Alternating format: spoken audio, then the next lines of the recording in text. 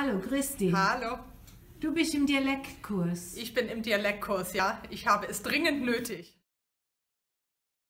Ja? Kinder, Kinder. Hast Kinder? Für mich ist das einfach interessant.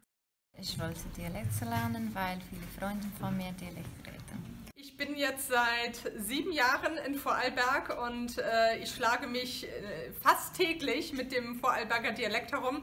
Und ich möchte jetzt einfach mal einen näheren Einblick da rein bekommen, wie das überhaupt aufgebaut ist, funktioniert.